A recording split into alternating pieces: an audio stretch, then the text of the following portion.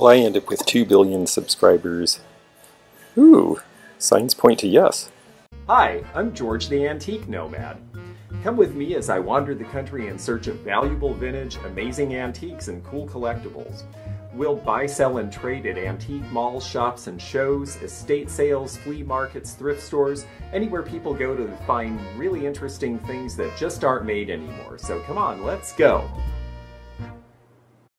Hi everyone, it's George the Antique Nomad, and I am just off Interstate 24 between Nashville and Chattanooga, Tennessee, on the Manchester Highway 41 exit. And right off that exit is this place. I've driven by it a whole lot of times, seen the sign, never gotten to go before. So we are going now, and it looks like it's pretty busy actually. This is Madeline's. It is an antique mall. It's a big old metal building, but they've got a lot of really interesting stuff outside too. So we'll take a minute wandering that. A little bit uneven on the gravel here and flip-flops, but that's okay. We're just starting to get a nice sunny day. It's actually cool and refreshing for a Tennessee summer. I'll take it. So lots of planters and garden pieces, and a lot of this does look like it has age. I see hubcaps, those fancy ones look like they might be off an old Chevy Impala, perhaps.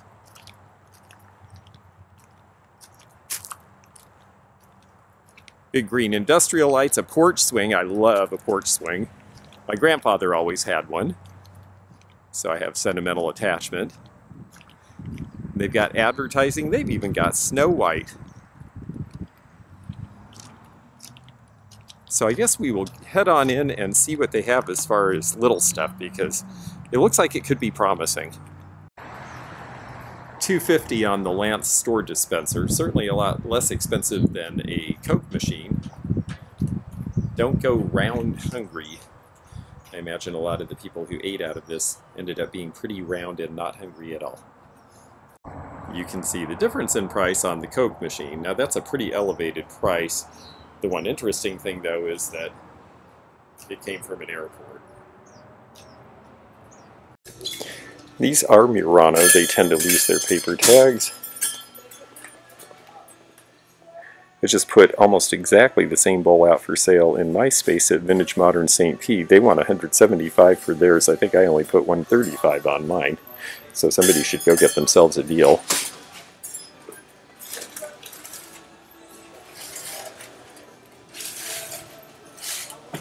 Speedy Weenie for Speedy Wieners. Obviously 1950s. And mixing coffee and chicory was something that was done more commonly then as well. Notice how the price has gone down to 300 on this. They're really neat looking. They're great for mall displays. They're great for home use. They usually all still work. That's why there's enough of them around that people don't really want to deal with the weight of them unless they have a specific place to put them, rather than just in a display. The Sunkist Juicer at 15 is a good deal. I've gotten about 30 for the Juicer before, but it's a little worn on the paint. I'll bet it works though. A bunch of Fisher Price. The Pelican is always one of my favorites. He's $38. The Jalopy. These are all partial wood and partial plastic, which is transitioned from the 50s into the 60s. Oh, and look, the Magic Answering 8 Ball in the original box. Now that is cool. Will I end up with 2 billion subscribers? Ooh, signs point to yes. They're asking $20, and with the original box, that's absolutely fair. No zip code.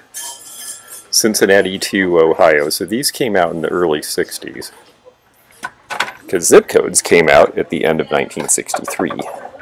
Interesting, they've got this carboy full of raisins or feed, but it does say it's a water dispenser. It's $2.95 for the whole outfit.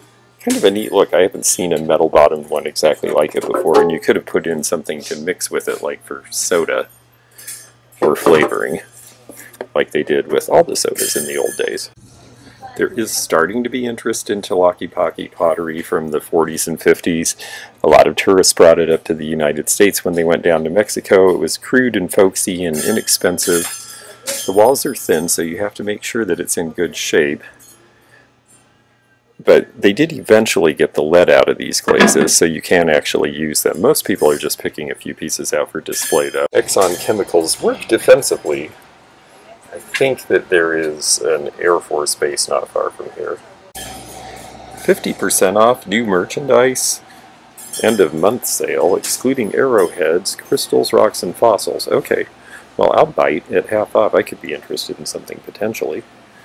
It's nice they put new stock in.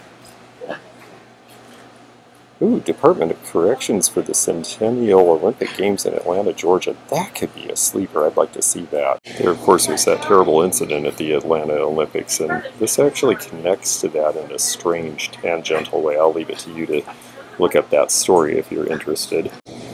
Now, usually I wouldn't want to pay as much as $9.50 for a lighter at half price, but this one's really clean.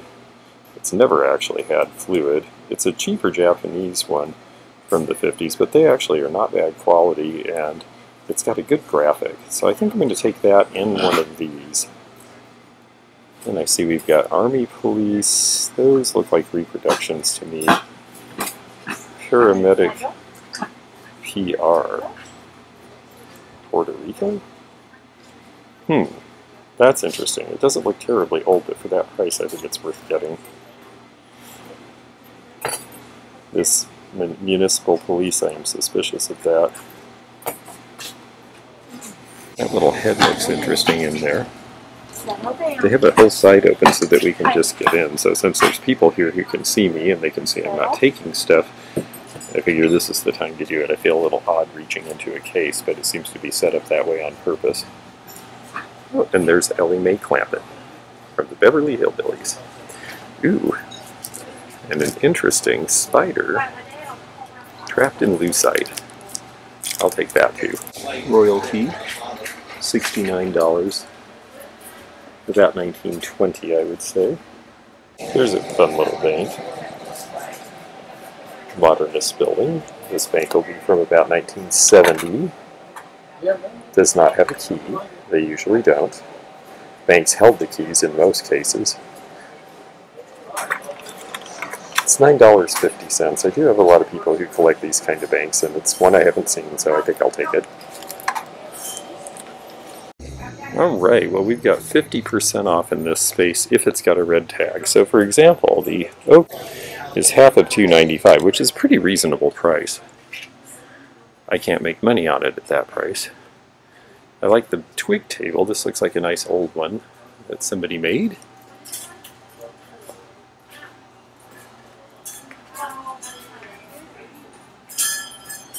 Somebody turned this into a table lamp and they're asking 125 and it's great that the old cord still works right? Oh except it's not an old cord. This was put together recently because look how even though it's a cloth cord it says Mexico. They were not made in Mexico. They were made in the USA back when something like this would have been made originally so it is in fact something put together recently. You can get cloth cords for old lamps though, which is nice if you want to be authentic about things. The Viking Epic candle holders are cute. A lot of people haven't seen these. Next to it though is this lovely bathing beauty lamp. They want 650 which to me is a very, very full price, but it does have its original spatterglass ball from Czechoslovakia for the top, and she is quite lovely and more 50% out of their gear. Check out our new stuff, so we'll do that. For our fans down under, there's a nice cigar linen. It would be in the bottom of cigar boxes back in the 19 teens. Now here's some stuff that I might like. This is Odd Fellows. I like these vestments. They did sell for me for a while. They've been slow lately though, and at 29 I guess I'm going to have to leave that. Let's see what this one's from. This one's half of 59 with the star.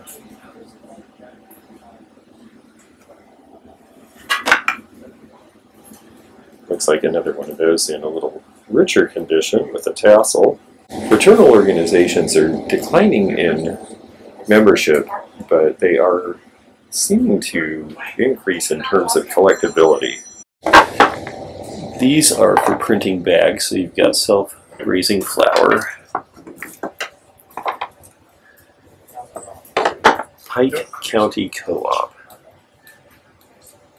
McComb, Mississippi, phone 1262. I wonder how much these are. These are interesting.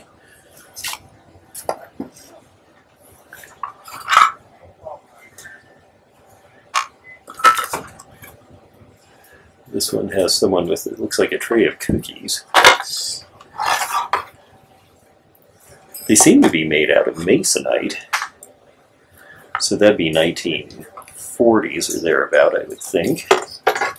It's a little indefinite what some of these things would do. You'd have to ink them and see how that ended up. Livestock and poultry feed. Safety first. These look like 1950s. Coca-Cola, huh? Well, that might be interesting to a Coke collector. And that's half of $29. I think I may get a couple of these just because they're curious and something that's, to me at least, unusual.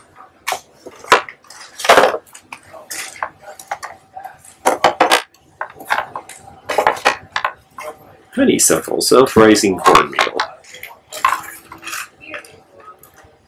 Miner's quality feeds. White satin. Hmm. Burr ground bolted cornmeal. It's interesting the way the faces have been turned. I'm sure again it's similar to a lino cut, the way that it would have laid down the ink on heavy paper. Castano la Libertad. I'll have to figure out what that means. Acorn. Acorn's kind of neat. And Silver Leaf again. But you know what? I am sold on the Coca-Cola one. That is the one to buy, I think. For fourteen fifty, and we'll see what somebody thinks of these. Okay, I cannot believe this is serious, but 1987, the peak of the shoulder pad craze. And here we have Coca-Cola branded shoulder pads. I have done so many estate sales where I have thrown away drawers and drawers full of shoulder pads, but none of them said Coca-Cola. None of them came in this wonderful box. I never understood the idea of women padding up like football players, personally, but it was definitely a look. And they're clip-on and half of 39 may seem like a lot, but these have to be unusual, and there are a lot of Coca-Cola collectors.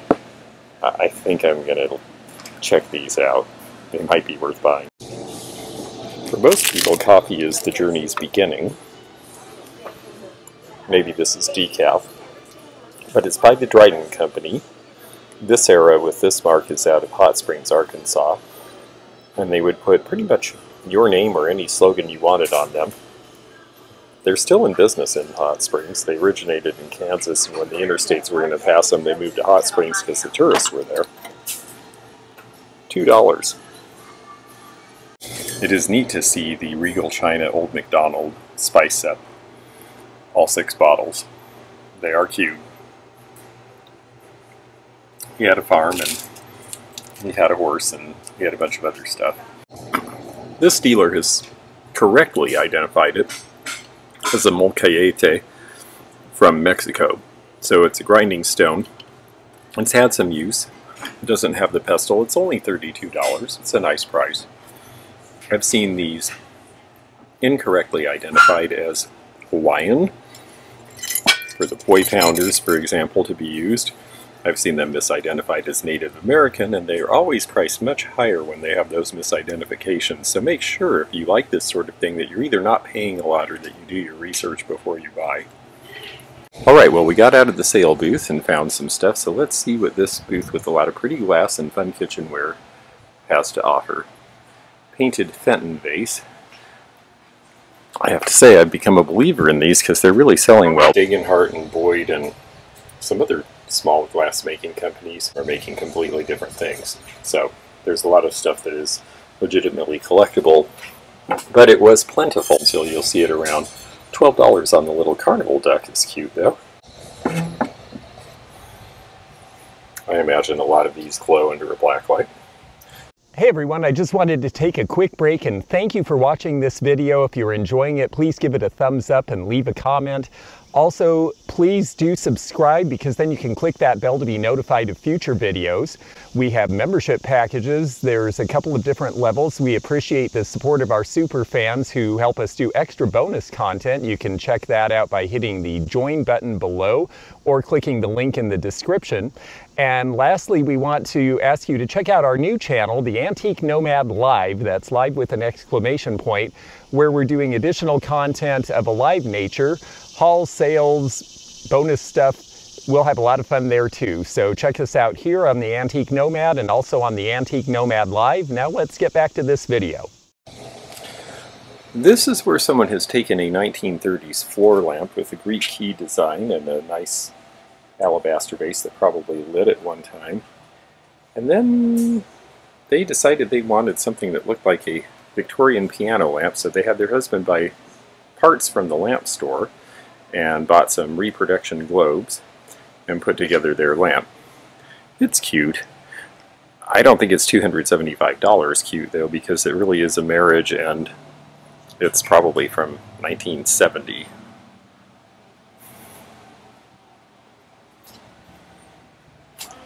Here's Silver Leaf by Libbey Glass. A lot of people see the gold more often. The juices are only $3, but it's such a small size. We consume more nowadays, we'll just put it that way.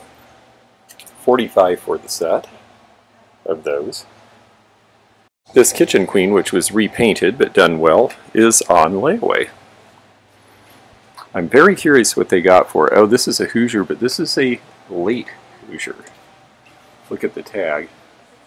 This is actually a recent production. That's why the painting looks so fresh. They did do some of these later in time. Another good way to tell that is by how thin the stamping is there. Well, these are all $5 a pair. Some of these older match sets are interesting to me. I look for the ones that I can identify as treasure craft. Other companies quickly followed. This one has to do with celebrating General Douglas MacArthur with his hat and his pipe shortly before he was fired by Harry Truman. I think because of the interest in that story, I'm going to get these.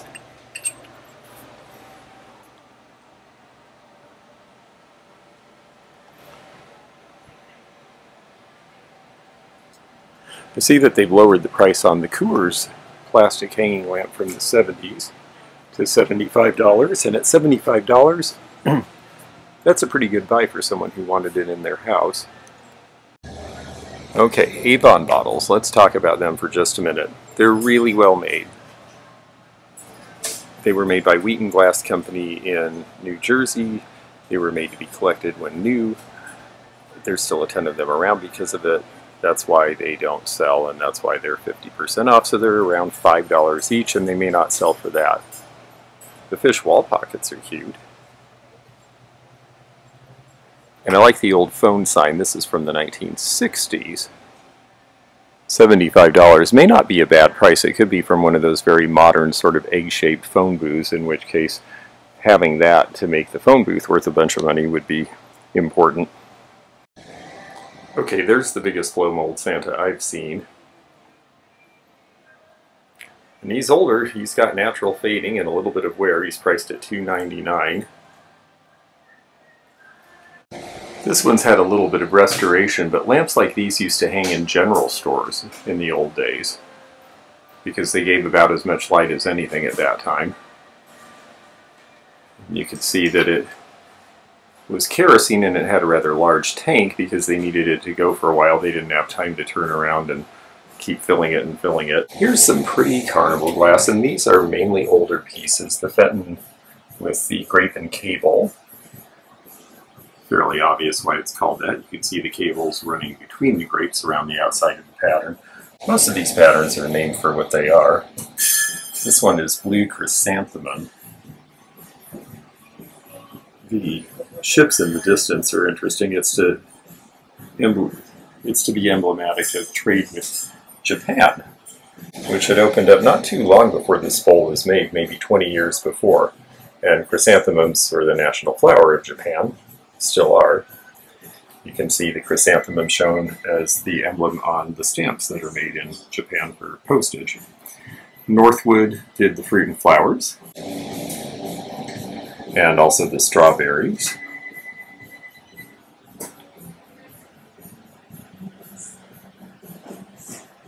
Fenton holly is a pattern we see fairly frequently, and the thistle pattern as well.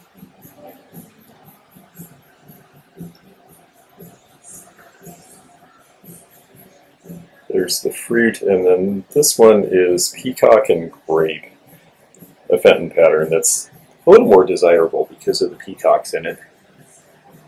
Dugan is another maker. There were a lot of companies that made carnival glass. Here's another Dugan piece with the wildflowers. But the one that I think has the best color overall is this one because you can really see the blue to purple tones in it. And this is Northwood's version of Blue Peacock. Peacock on the fence. You just can't decide. Some pretty Majolica. I always enjoy the ones with the fans. That's an aesthetic period design from about 1870s to 80s. This one is by a company called Holdcroft, and it is stated to be rather scarce. They are asking $600 for it. I did know someone who had a shop that specialized in Majolica, and I can't say I've seen it before. Here's an early form of a check protector. It's a lot smaller than the later ones. This is going to date to maybe 1910 or so. These appear to be American made. Collectors do prefer the American made over the offshore. And you'll see prices anywhere from about 35 to $75 on these. People really do love the die cast. I have a friend who collects the race car versions. They are mainly offshore production. And then there's a bunch of briar up here, including a few you don't see so often. The bighorn ram. The pronghorn is not as common either. Bull moose has always been a little more expensive, and the longhorn steer as well. After the Moo Cow Creamer went through its first phase of popularity and it started to wane, they kept it going for a while by putting smiley face on it. So the cow isn't necessarily smiling because it's spitting milk onto your cereal, but the smiley face is happy. $7.50 may not be a bad price for this nowadays. I haven't had one in a long time. Fiesta came in this rose color in the 1950s, and I still look at serving pieces because they sell. Oh, and they only have $10 on it because they think it's a new color. That's great. It really does pay to know your Fiesta colors. This should probably still these days sell for 30 or $35, and I'm happy to get it. Unless that's a chip. Please don't be a chip. Oh good, it's just schmutz. We're always happy. Now when it's something we really don't want to buy, then we say, please have a chip, please have a chip. Another thing that you can make money on because they're small and easy to ship if you're selling online are some of these little Shawnee planters, and it does pay to know what they are because Shawnee at first did not put this very bold clear mark on all of their stuff. So you will see them out there with no marks, and they can often go for a couple of dollars. These are priced about 20, which is full retail. It's not exactly a crazy lamp, but this one is Capo di Monte.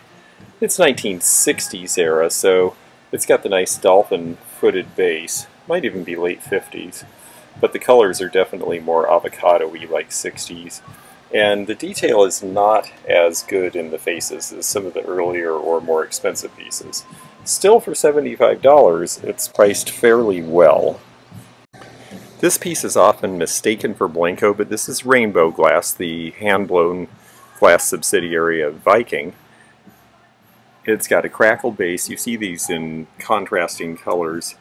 They're not always clear and amber. And it's got the nice label on it to help you know, which oftentimes is washed off, so another good thing to know about.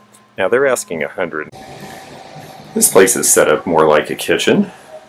We've got a possum belly cabinet, belly cabinet, flour cabinet, whatever you call these. A nice bin from the 1800s, it says. This is really cool. This is a foot-powered churn, and you could have churn butter in it, and some people even would wash their laundry and something like that.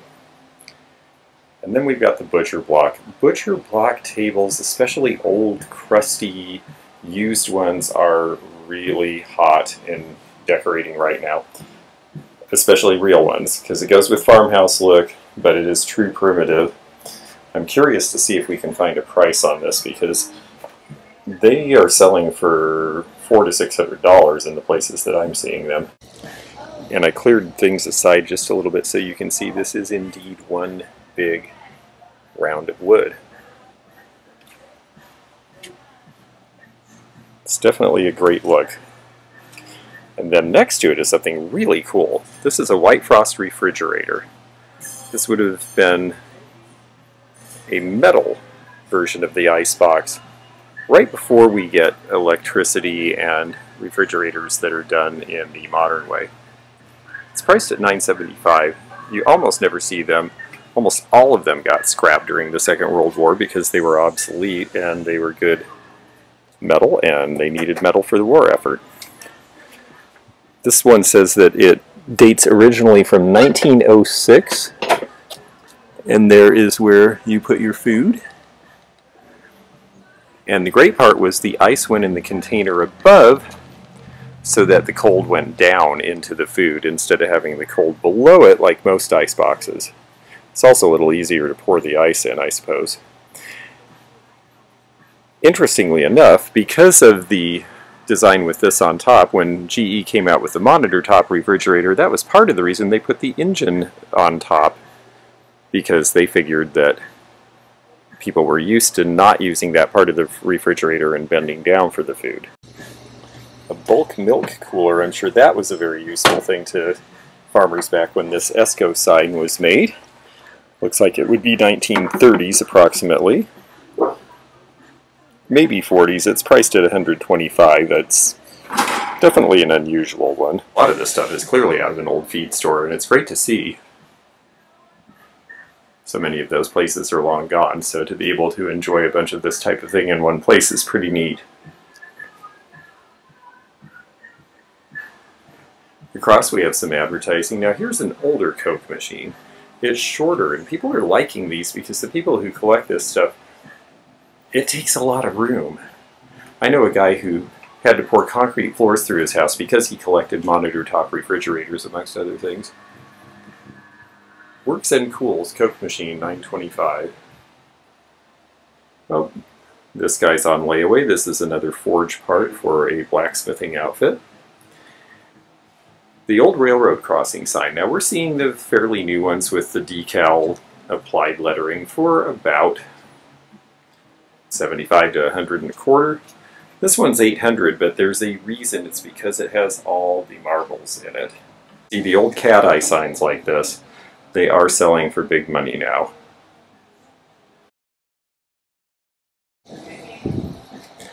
We give plaid stamps because green ones are boring. Well, Madeline's turned out to be bigger and more interesting than I expected, so come join me on my next video and we will show you the other half of the store because there's still a lot more to see. In the meantime, I'm George the Antique Nomad at the social media you see below. Have fun and find something great, and we'll see you again soon. Bye-bye. Thanks for joining me again in the fun and fascinating antique community here where online meets the real world. Please click the subscribe button below Click the bell to be notified when new videos upload. Leave a comment below and hit thumbs up to like this video.